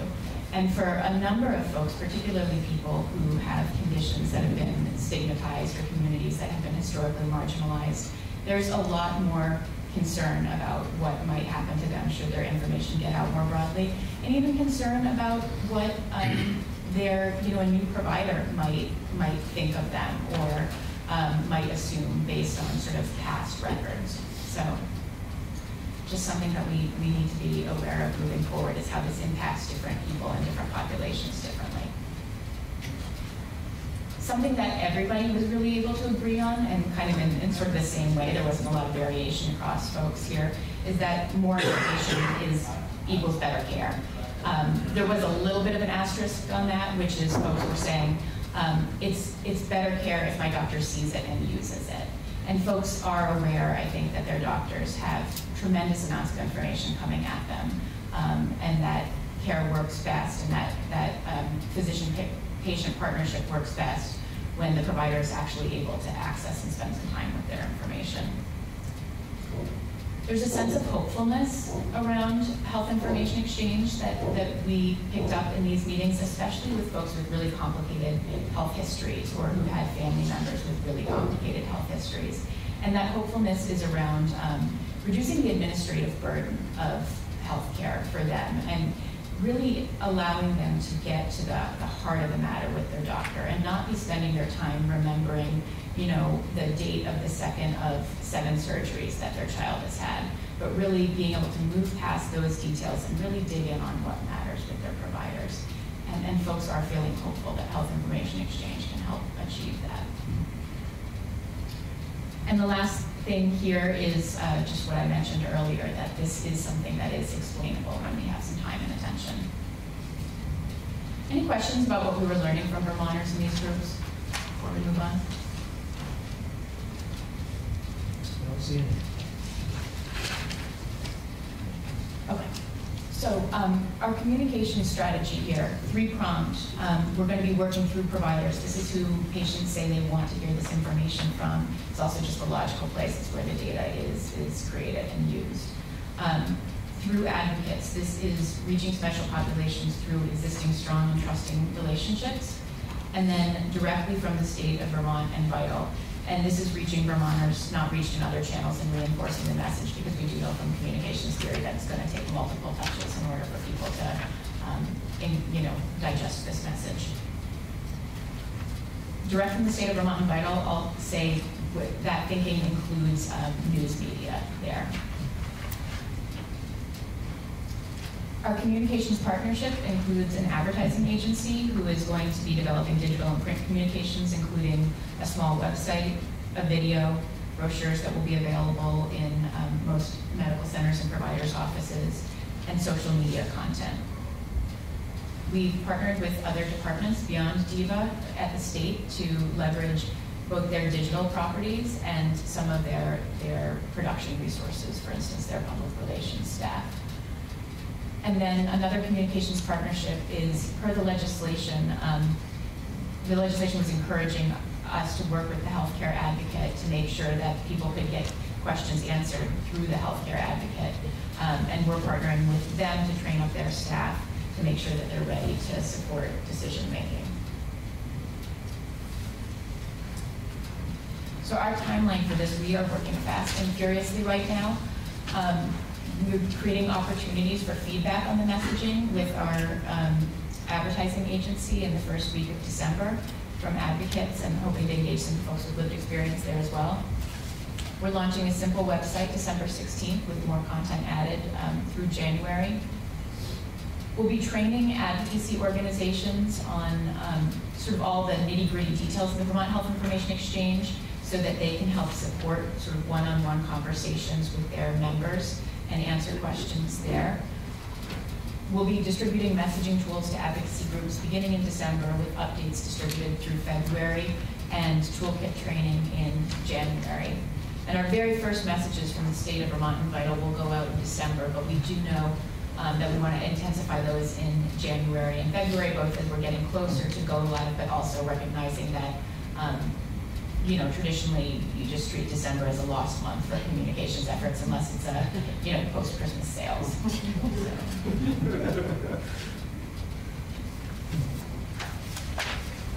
When you were identifying the uh, advocacy groups to uh, reach out to, um, how did you measure your success and and what was the uh, response rate? Sure, so, um, the response rate was good. Mo- Almost everybody we reached out to wanted to participate in conversations about this. We've had one-on-one conversations with folks across, oh, you know, I, I want to say, you know, every special population you can think of, but of course I'll get in trouble by saying that, because certainly we've, we've missed somebody, but we've um, made a real effort, and there's been a bit of a snowball sample. So anytime we're with an advocacy organization, we're saying, is there anybody else you think that we should be talking to about this subject? Typically, folks have, have offered up some ideas, and we've um, tracked those down, and the folks there have said yes. It's also fair to say that one of the other um, demonstrations of success is that they have, those advocacy organizations have helped to coordinate and invite um, folks in to talk with individuals who have lived experience um, that they're serving. And so that, I think, is kind of also another demonstration of success. I have a Go ahead, Don. Um, I was curious if you got any pushback from providers about their role. Yeah, absolutely. So um, we have had some really interesting conversations with organizations representing providers.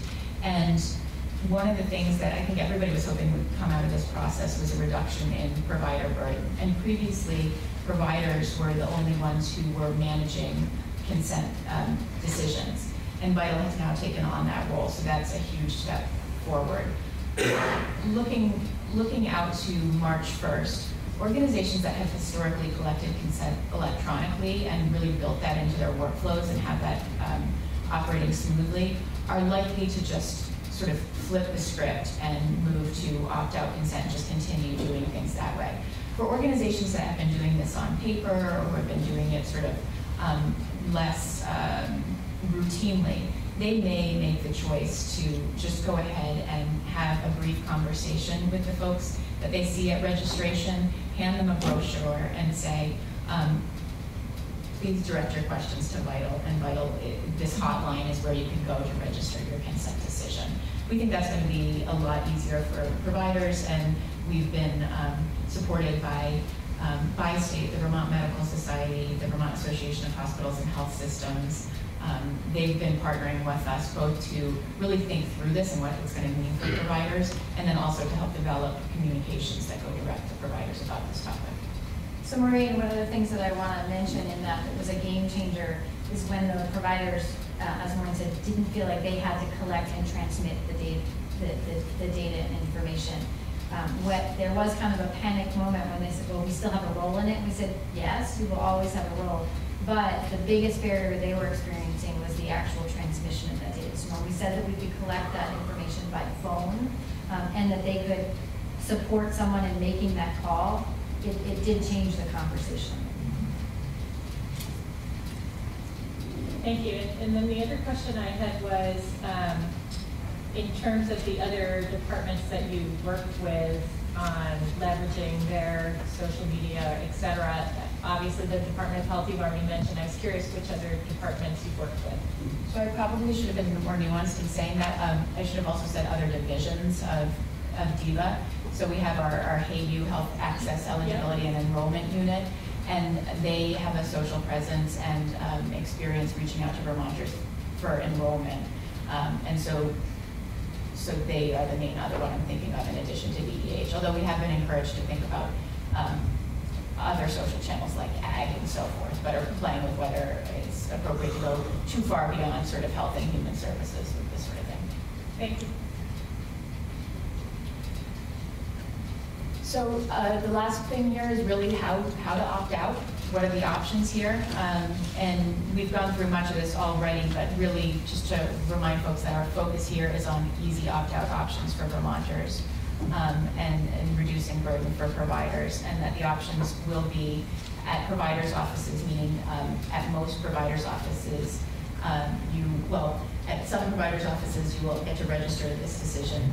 At other providers' offices, you will get presented with the option through um, a brief conversation and a brochure, and then you can make a phone call, or you can go online, or you can do this by mail, really trying to reach people who have a wide range, whether they don't have a computer or whether um, they would, you know, just prefer to do things by phone. Alistair and Andrew, do you have anything to add to that? Yeah, sure. So I think, I think the overall message is we're trying to make it easier, protect patient privacy, and reduce the burden on providers. So it's, we think we're on the right track, and based on our conversations with other stakeholders and advocacy groups, they are also in alignment with that. Um, I will also add that in addition to calling the VITL consent hotline, which will be the same number that it is now, they can also con- contact the Office of the Healthcare Advocate. And I think that is part of Act 53 as well. So I just wanted to mention that. And one detail that I haven't pointed out yet that I think I probably should is that all consent decisions that were made before March 1st will be carried forward, and that VITL has been working, doing work to test to ensure that that, those previous consent decisions are carried forward. Um, okay. So I think that that's a nuance that I want to make sure folks caught. VITL has built a lot of the technology behind the scenes and is beginning to test that technology already. Um, And so that's the other aspect of this, not just, not just doing the outreach, but also making sure that the consent decisions are reported in fact. So the last thing here is testing um, how we did. Did we reach everybody?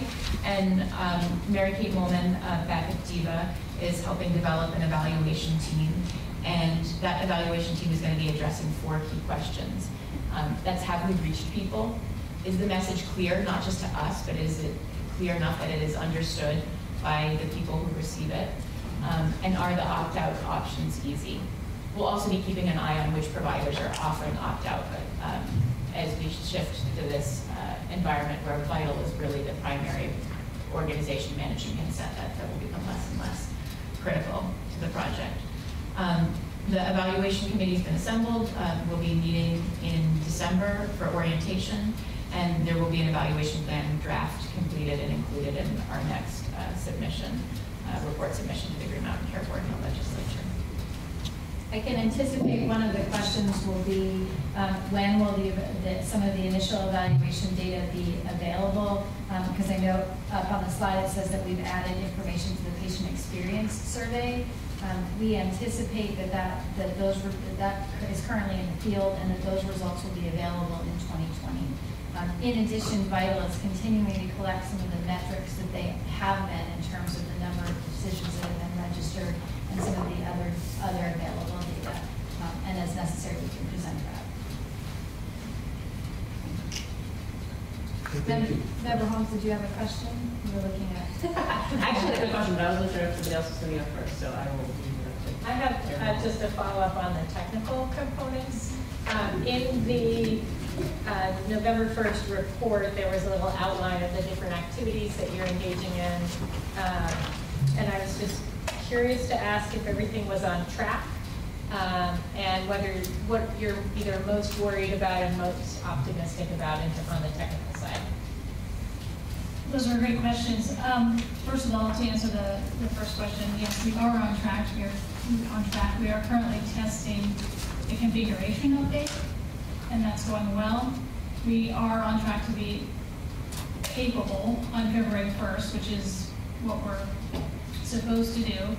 Um, I think what we're most worried about is protecting patient privacy that, that really is something that we take very seriously. And we feel like we have vetted all of these options. Um, That sometimes maybe a little too long and complex conversations, but they're all really important. So we're worried about that. We're also worried about, about being able to audit. And um, so far, we have the capability to track everything that we do, and we feel really confident about that. I think what we're most optimistic about, or at least me, I can't speak for the entire team, but I'm optimistic about who we've been able to work with, with Maureen and Jenny and Emily when she was not on leave, and, um, and many others in the group have made significant contributions as well as the engagement of the stakeholders. Okay, Jess. Uh, uh, So I did anticipate, I- you did anticipate my question about the, when that would be available. My other question would be, you have the consent hotline on up now. So I'm wondering about the traffic on that hotline, what types of questions, concerns you're hearing. It's interesting, we actually don't get a lot of traffic, depending on how you, how you measure that. We probably get a couple of consent calls a month. And they're mostly about, um, can VITL send my record to X organization? Those kinds of questions. So there is certainly some education that needs to happen in terms of what a Vi- VITL's role in, in the ecosystem is. And we, you know, fortunately are are on the right track with that. There's a lot of work to do. And my final just comment is I just want to thank you for the thoughtfulness and thoroughness with which you're trying to implement the opt-out plan for the state. And I think, you know, what you've laid out is impressive, so I appreciate Any other questions from the board? If not, we'll open it up to public comments or questions. Eric? I just want to thank the team for the thoughtfulness and engagement uh, with the stakeholders. I think taking um, meaningful consent as a kind of guiding star and not focusing just on provider burden, but making sure Vermonters have a meaningful opportunity to understand what they're consenting to. I think that's really laudable. Um, you know, also the lived experience of Vermonters, I think, is a a critical um, way to think about informing decisions, and it's a data source that we don't often use enough. Um, and you know, the evaluation process has also um, been interesting, and I think um, Mary Kate is an exceedingly competent and thoughtful person, and I look forward to um, working with her on the evaluation as part of that team. And um, it's, it's, it is, you're correct, uh, Member Holmes, it's an exceedingly thoughtful and deep process. Thanks, Eric. Other members of the public? Yes. Kirsten Murphy from Vermont Developmental Disabilities Council. I too would just want to um, express my thanks that the concerns of our community have been heard and we continue to partner um, well with the team and um, appreciate the process that they put in place. Other public comment questions? Seeing none, I wish to uh, thank you for a great presentation. Thank you, thank you. Try to stay warm. Thank you, you too. So at this point, we'll invite the uh, folks from VITL to come on down.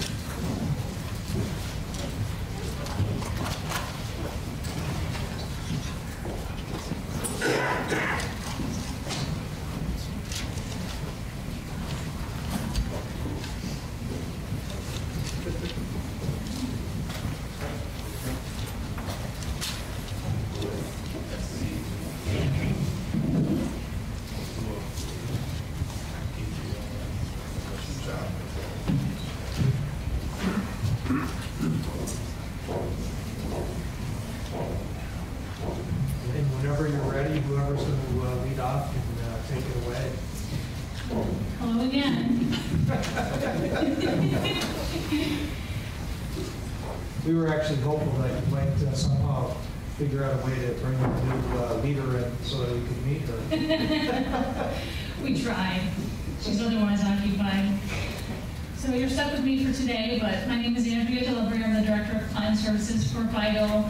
I have Christopher Schenk to the far right, the Director of Technology, Carolyn Stone, Operations Director, and Bob Turneau, Chief Financial Officer. We also have Frank Harris, our Strategic Technology Advisor in the audience today, or our lifeline in case we need it. And thank you for having us here today. We really appreciate the opportunity to provide some updates for you. You may have noticed that Mike Smith is not here, um, and he's otherwise occupied, as you've probably heard. But we, we should really a little less time to ride his bike now.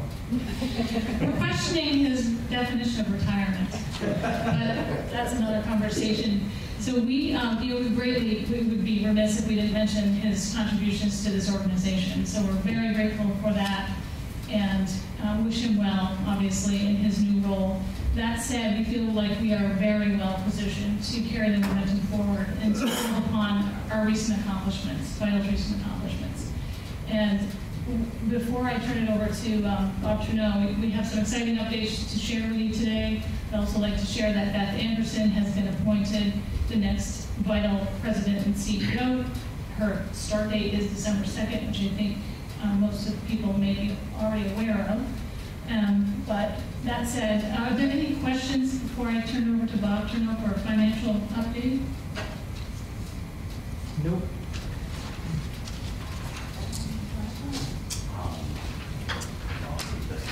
No drop? Good afternoon. Um, I'd like to thank the Green Mountain Care Board for the opportunity to uh, speak with them about VITL and its financial status. Um, The first thing I'd like to do is bring the board up to date on the status of our financial audit um, for FY19. That was our latest uh, complete year. Then I'd like to discuss our upcoming CY20 contract and then review our financials. Okay, um, in terms of the audit, this was the second year with Gallagher Flynn as our audit firm.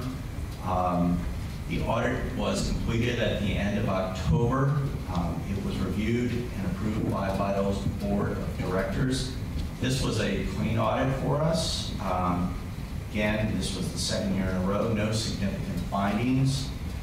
Um, Before I leave this slide, I would like to mention that um, in context of next year's financial statements, um, they will be affected by a new standard on revenue recognition. And I, I would imagine that folks on the Green Mountain Care Board are awfully excited about FASB uh, pronouncements. But we will be working with uh, the Green Mountain Care Board to determine what the effect will be on our financial statements. What I've presented today is my um, best estimate on what that impact would be. Um, It could change during the course of the year as um, our understanding evolves of the standard. Okay. Since um, our budget uh, was approved back in June, uh, there has been some significant events which have impacted the budget. Uh, The most significant is, as um, previous uh, presenters have mentioned, is the addition of the second phase to the collaborative services project. This new phase is the acquisition and implementation of a new data repository and the incorporation of VITL's HDM and the Vermont Clinical Registry into that data um, repository. In addition, the new contract has a significant increase of work scope um, and represents an increase in the capabilities of the VCON. We at VITL really appreciate the opportunity to work on these projects and rec- rec- recognize the importance of this work to uh, the state of Vermont. So we see this as a vote of confidence by the state following the hard work that we've done over the past two years. Um, should be noted that negotiations for this contract were completed in early October. It went into a review cycle. Um, We expect to sign it at the end of um, the year. So with that, Bob, in your uh, budget order, uh, there was a requirement to come back in December um, for these type of adjustments. It sounds like you're not going to have this thing executed till the end of December. And it's my understanding from talking with Sarah that it may be more appropriate to have that in January. Is that your thinking?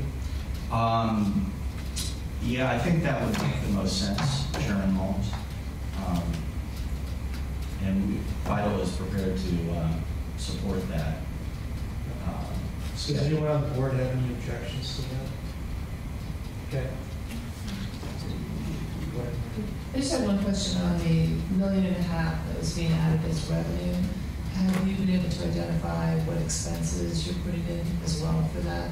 Because obviously your expenses went up by about a million and a half as well, but what Yeah, I- those were corresponding. I, I um, will talk about that in um, a previous slide, but if you'd like, we can, we can skip forward. No, that's fine. Okay, great.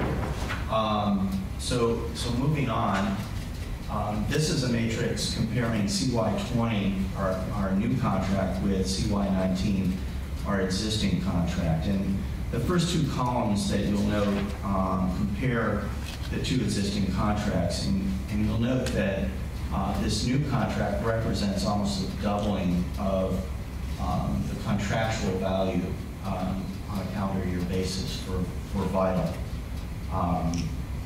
Um, Well, some things have remained the same, such as um, our operations uh, line item and our data access, data quality, and connectivity um, work scope.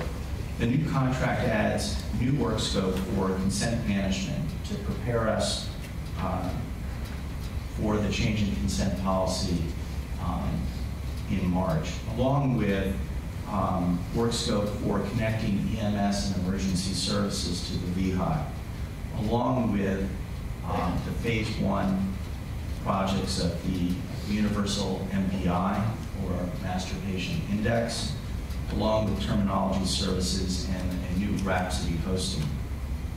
As I mentioned previously, the new contract also adds a second phase, the acquisition and implementation of the new data repository. The two rightmost columns here in this chart um, split the CY20 contract into VITL's fiscal year 20 and 21. And just to clarify, the term for the new contract is January 1, 2020 through December 31st, 2020. VITL's fiscal year, on the other hand, runs July 1st through June 30th. So VITL's FY20 uh, fiscal year will have two, six months, pardon me, of this new contract. And as you can see, most of the phase one work um, is estimated to occur in FY20, and most of the phase two work is expected to occur in FY21.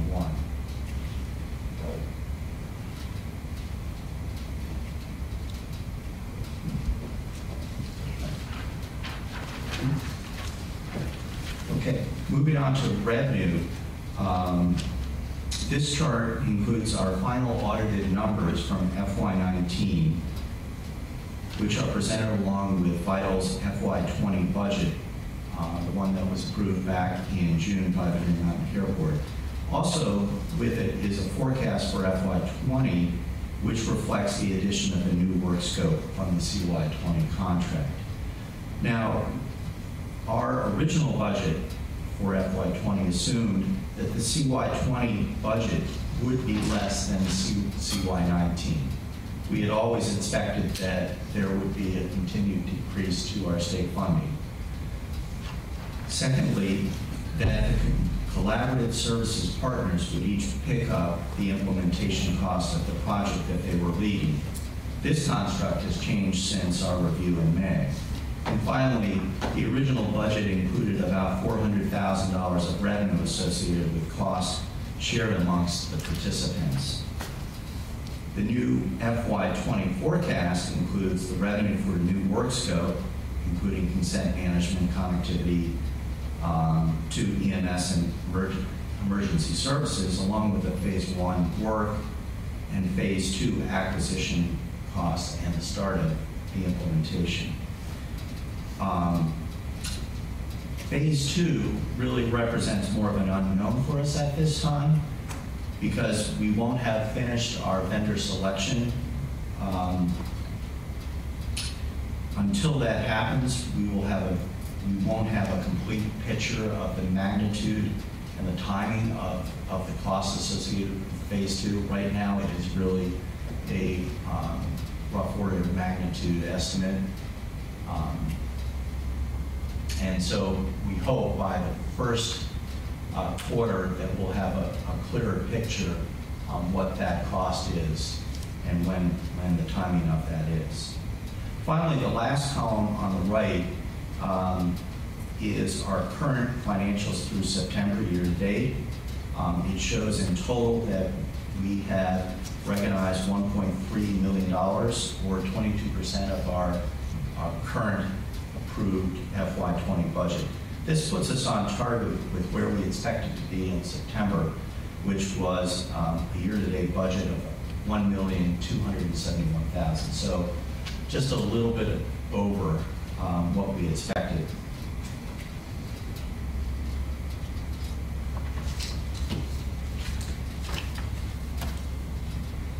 We expect that our expenses will be uh, 1.5 million greater than our budget.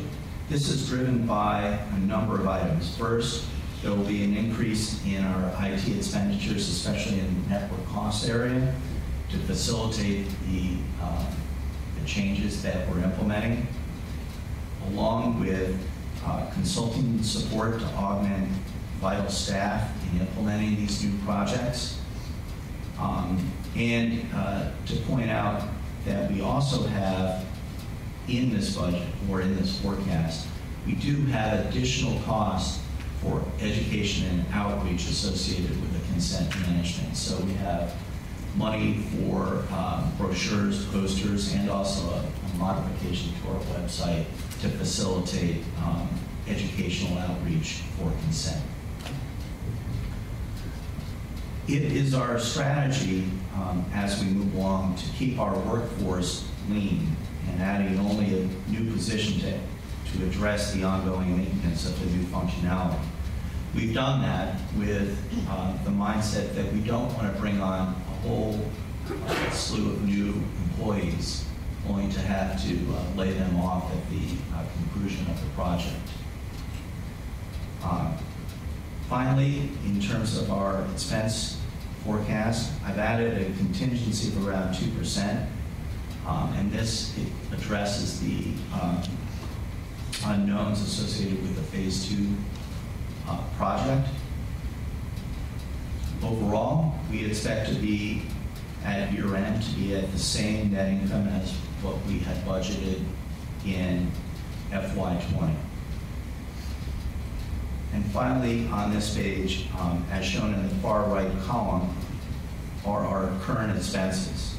While they are $330,000 lower than planned, this is driven by two things. One, lower labor costs than projected, and lower IT costs. Part of this is due to the inventorying of labor and uh, services connected with the collaborative services project until we actually recognize the revenue uh, due to the completion of the projects. Um, Since we don't have a contract, that won't happen until the first half of FY '20, pardon me, first half of CY '20. Before you go to the next one, can you just explain um, on the personnel-related expense line, um, why your forecast is going to be five times um, what the first quarter is? What's the new positions that are being added, or or what is the, the new, We, we are in the process of adding uh, two new individuals, um, one a network security analyst, um, and the second, remind me,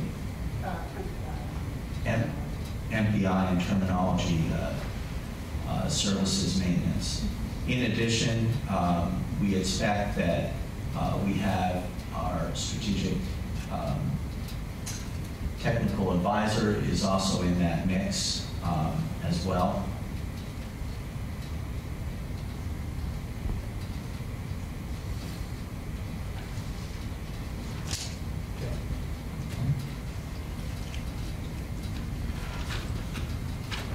So moving on uh, to the balance sheet, um, VITL's balance sheet is strong.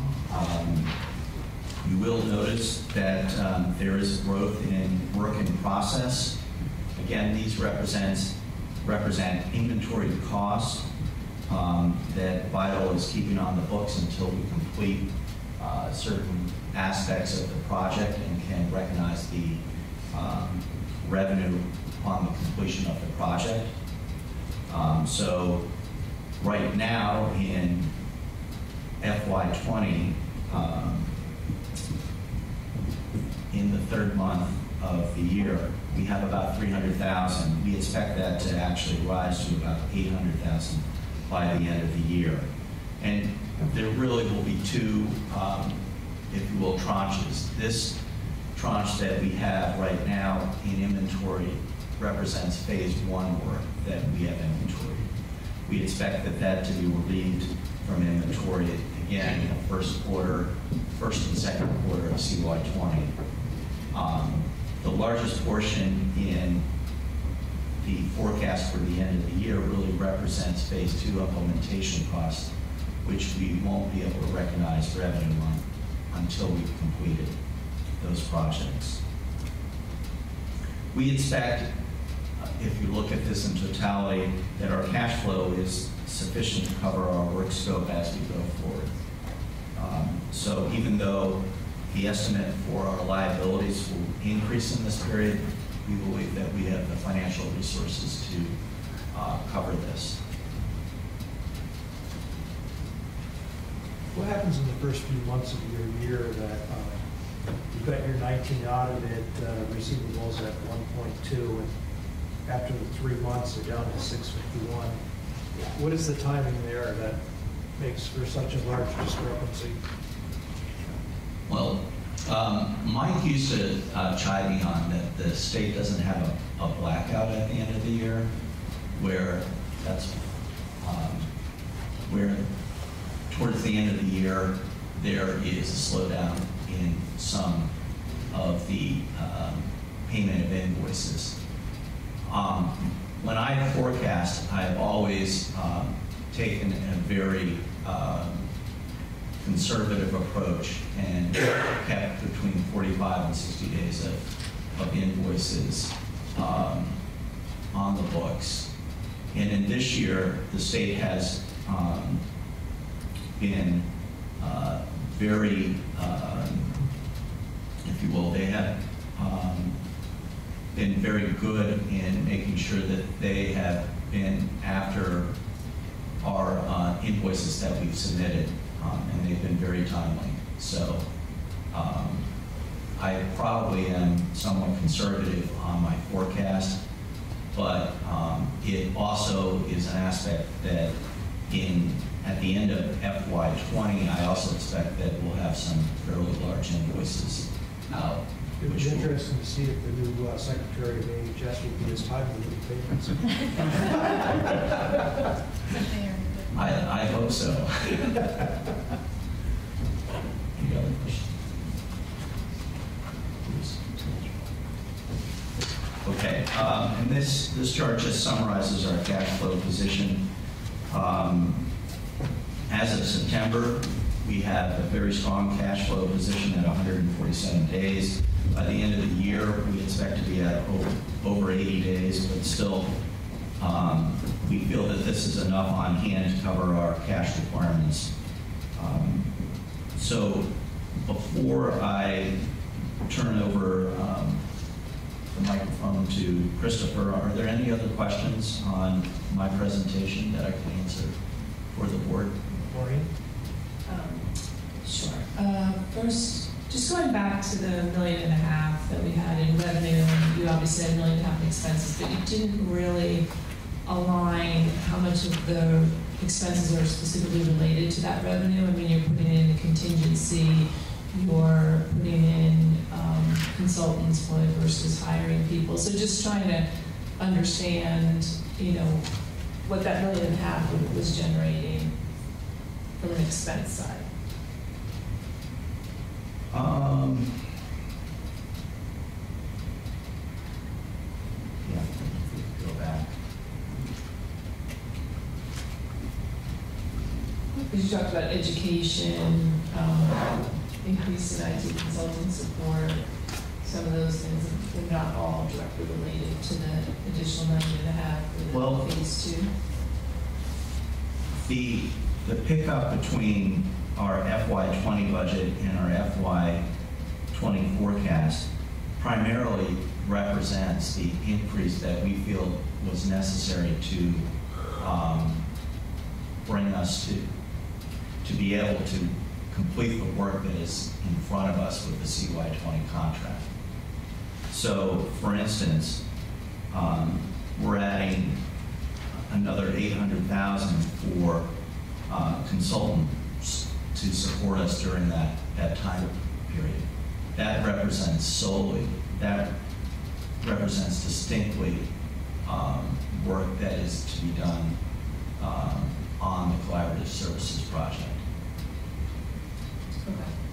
And then looking at your cash flow, um, you do see a change from budget, um, the negative two eighteen going to seven oh two, so a five hundred thousand dollar change.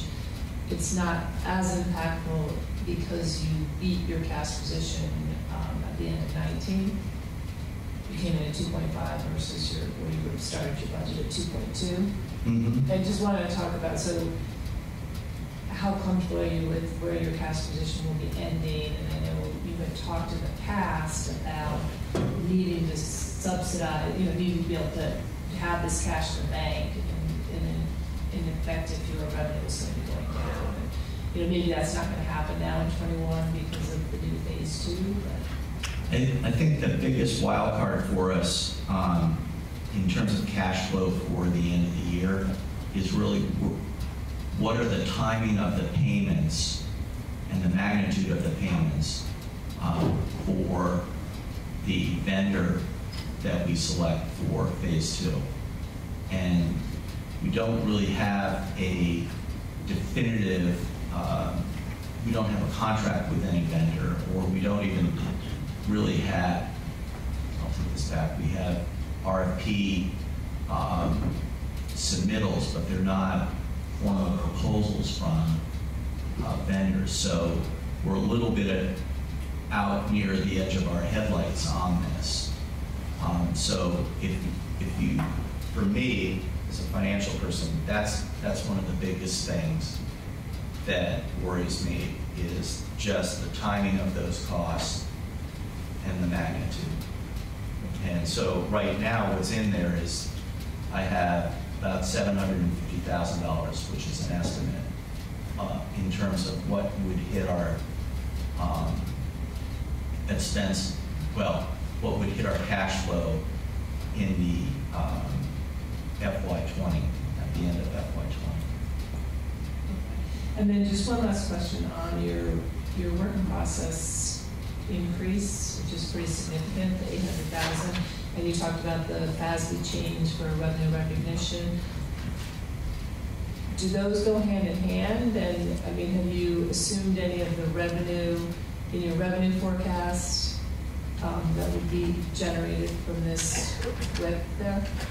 Um, I think there are going to be two different, two different things going on. There is, there is a, an effect due to the, um, the FASB ruling in terms of performance obligations. And, um, some of those performance obligations may actually stretch out beyond the fiscal year and may need to be recognized in the following, in the subsequent fiscal year. That's, that's part of the FASB um, standard as I, I understand it now. And then the other part of it is that um, we may not have completed work um, and it may roll over, that work may roll over into the next fiscal year um, uncompleted, and therefore we can't recognize the expense without recognizing the revenue. So they're just kind of like two different things going on. Okay, all right, thanks. Okay. Technology.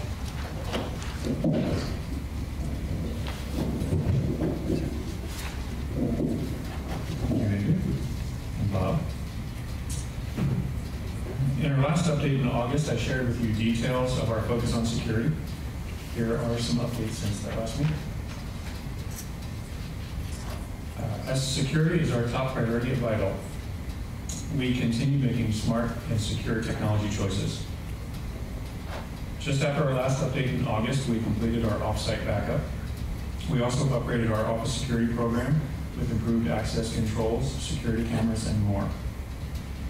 In September, we further secured our employee VPN, completed our scheduled third quarter security scan, and working with the Agency of Digital Services, we finalized our business domain assessment, uh, which included improving many of our policies and procedures, such as our change advisory board and our design review board processes.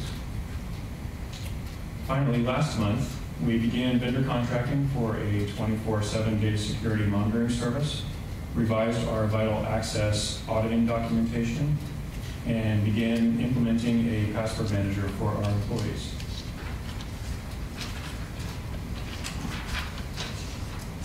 Beyond security, we are still committed to making smart technology choices. VITL is choosing modularity, allowing us to plug and play technologies and facilitate the collaborative services projects. We are choosing agility to give us scalability and disaster recoverability, which is being driven by our recently completed business impact analysis. These choices not only provide enhanced technological capabilities, but also financial benefits. They stabilize our infrastructure expenses and avoid capital expenditures while reducing financial obligations and commitments. Most importantly, as VITL makes technology choices, we are aligning ourselves with our collaborative services partner organizations. Before I hand it off to Carolyn, who's going to talk more about the collaborative services projects, do you have any questions about our security or technology? I do, so, um, what is your geographic, uh, uh, uh, backup for problem that would occur? Say there's a flood. Where, where do you have data stored? So our, our primary data center is in South Burlington, and we have local backups there. But we also have an off-site backup, um, which is in the Azure East region, which I believe is in the DC area. So if we had a complete catastrophic failure of our data center, and even our local backups were completely destroyed, we have a backup um, in Microsoft's Azure Data Center. And you're, I'm sure you did the analysis, and you believe that what impacted Winooski would not impact that center as well? The South Burlington? Yeah, South Burlington and, and uh, Washington, I'm just curious. You know, it's a fascinating topic. Years ago, I remember um, being part of a legislative delegation that went down and tried to convince Wall Street when the rules were changed that required um, backup, and I can't remember what the miles, if it was 200 miles or what, that Vermont was sufficiently just outside of the radius that they ought to locate some backup here. We weren't very successful in that effort, but I was just curious how you ended up picking that site. So when, when you look at, uh, you know, our strategy for where we're going to store our data, um, there's more things than just as far away from, you know, our current location as possible that adds uh, latency and data transfer and things like that. So, um, you know, typically 200, 250 miles is a, is a a pretty good strategy. Now, of course, there are possible events that could affect both Washington DC and Burlington, Vermont. Um, But we, we do have plans going forward to even further protect our data and have an additional archive data location that's on the other side of the country. Great. That's actually going to tie into the Collaborative Services Project. Super. Thank you. Any other questions? Thank you very much. Karen? All right, thank you, Christopher. Um, As you know, and you heard from DIVA, we've been working in partnership with uh, DIVA, the Blueprint for Health, and OneCare Vermont on this collaborative services project. It's super exciting, and we're trying to streamline the way things are working. Um, So we focused on, the first phase is on the foundational infrastructure that was identified um, a few years ago as a key component that we needed to improve. Um, The Universal MPI, or Master Patient Index, is the first piece of that. We selected Verato for the solution in June, and in September, we completed our implementation of the route development, and then we- we're in testing right now. I will let you know that the early results we're seeing from testing look really promising, and this will get us towards one of the HIE plan goals of trying to get as close to one record for every patient in or person in Vermont that's in the system as we can.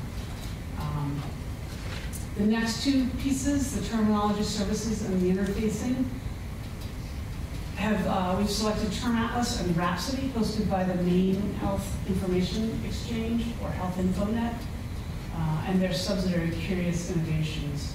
Um, They're currently setting up the environments right now, and we are targeting the end of the year for this to complete. This will include um, three environments, one for development, one for testing, and one for production, as well as disaster recovery, to your point, Kevin, um, as, as a backup plan. And those will be um, available to us all by the end of the year. Um, After that, configuration, implementation, and testing will start in early 2020.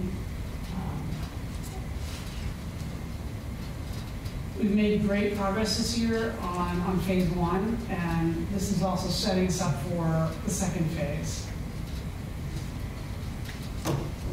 This is, the second phase kicked off in October, and this involves selecting a shared healthcare data platform. Um, This will replace, as Jenny mentioned, both the VHI data management solution and the Vermont Clinical Registry, uh, enabling efficiencies moving forward for both of us and allowing us to shed some of the older legacy platforms um, that, that we both had. The primary goal right now is to support these two programs initially. However, as we're moving forward, we're keeping an eye on other capabilities for other types of data or services in the future, like social determinants of health or claims data that our stakeholders are really asking us to ingest in the future. Um, since this is going to be a shared platform, we've assembled a core team of stakeholders to help select the platform from multiple agencies and programs across the state. These include representatives from VITL, uh, Department of Vermont Health Access, the Agency of Digital Services, Blueprint for Health, OneCare Vermont, Vermont Care Partners, Bi-State Primary Care Association, and um, Vermont Care Board staff.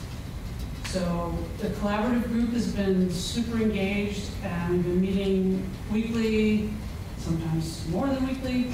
Um, and is, they're providing valuable insights, have helped to keep the project moving along in a timely manner. Um, One of the first tasks that the project team undertook was agreeing on the scope of the project and the process we wanted to use.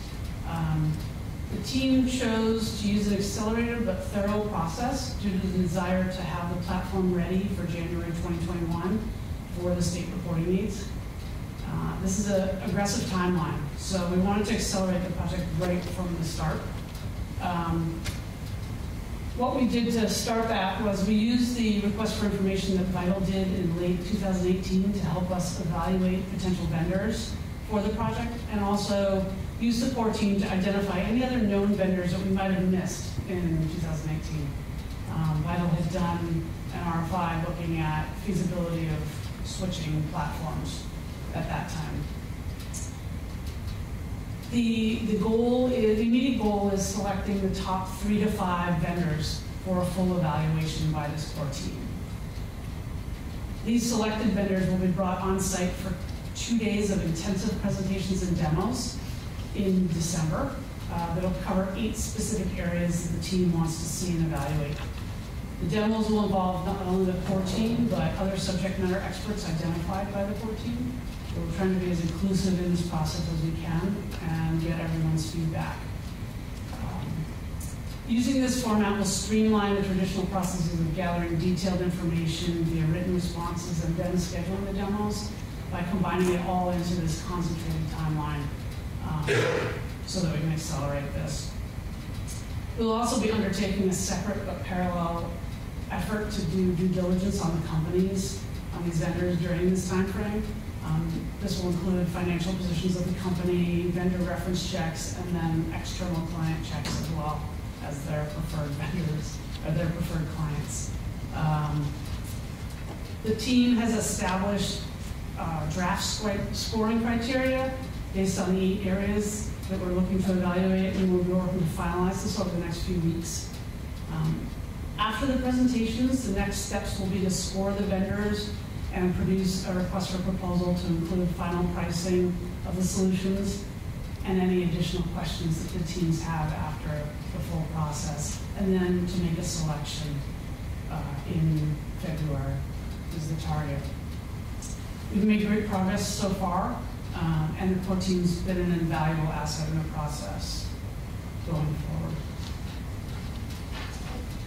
Any questions? Otherwise, I'll turn it over to Andrea for the report. I guess no questions. so- Excellent.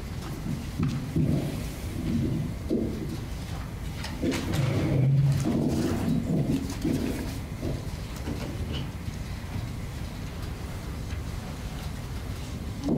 so the quarterly report are their usual metrics that should be familiar, and they are ending the month of September.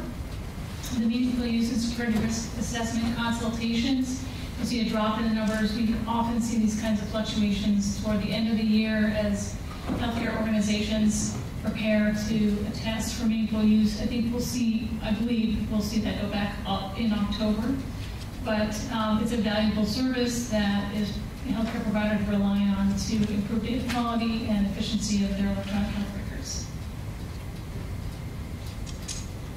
The percentage, uh, percent of Vermont patients providing consent, we can see this ending September is starting to plateau, which um, interestingly enough, we, we had sort of a pool of, um, of people, uh, VITL predicting there would be a plateau at about 50%. So we'll see how far we get here, but after March 1st, 2020, we expect this to be 95%. Connectivity criteria, the new replacement interfaces, this is in September. We had a target of 89 completed work plans this year. We've uh, obviously exceeded that with 121 completed work plans, tremendous effort of the operations team, and 22 more are in progress. There are also 11 locations meeting tier two criteria. So this is um, speaking to the connectivity criteria that's coming up in 2020. We should see more of these next year. From a point of care perspective, we continue to maintain and uh, hopefully, um, in- increase utilization of the three ways to access patient information. The top green chart, bar chart remains steady. Those are the number of VITL access patient uh, acts, or record, or providers accessing patient records through the web portal. The bottom red column is the cross-community access piece. Those are the queries out into the integrated solution, queries across networks from organizations' healthcare, uh, electronic healthcare records. And the purple column are single sign-on chart access is via the web portal. And those remain steady as well. Another aspect of point of care utilization are the provider results delivery. These are ordering providers having laboratory results, radiology reports, and transcribe reports delivered seamlessly into their electronic health records. A lot of times, the providers do not know that those are facilitated by VITL. And we have seen a little bit of an uptick. Um, we predicted it would go down, and we actually may, we haven't, um, we're not sure if we'll see impacts from the UVMC consolidation or not, but we, we may. And um, I think the message here is that over a million results have been delivered across, uh, the, starting in January of 2019. It's a significant service that we provide, and uh, 443 providers received those results in the state of Vermont. This um, actually concludes our update. Are, are there any other questions we can, I can answer, we can answer? Questions from the board? I just have a quick one. You- If you go back to 21, Sure. can you just give me a sense of the denominator? I don't know if everyone looks like, in connection to the criteria. What is the denominator, 11 locations? Out of out of how many are you thinking is potential? Yeah, so um, I want to say, within the state of Vermont, we have, I think it's 1,200 locations that we've identified. Out of those, we know that about 500 have electronic medical records.